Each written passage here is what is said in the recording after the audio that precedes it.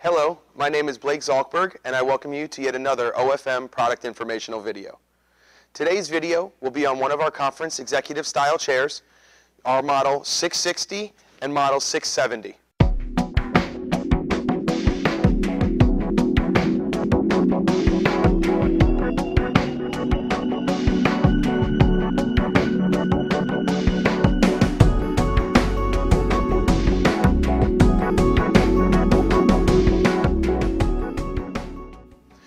Key differences you'll notice between these two chairs are that our Model 660 is a mid-back and our Model 670 is a high back, allowing for extra back support while sitting for those long days.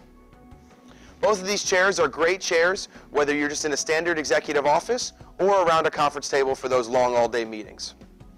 Some of the nice features of this product offer a full thick 2-inch arm pad, in addition to a nice fully upholstered back, giving you a clean look.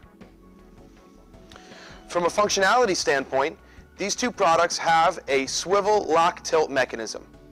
What this mechanism will allow you to do is completely turn the chair 360 degrees,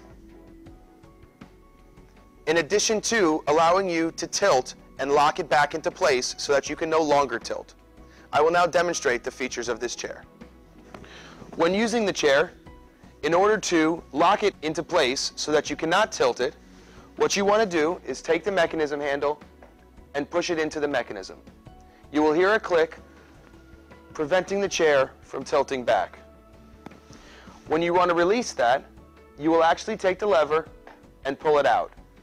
And that will allow you to lean completely back in the chair, giving you a free flow. Both of these chairs will work identically the same.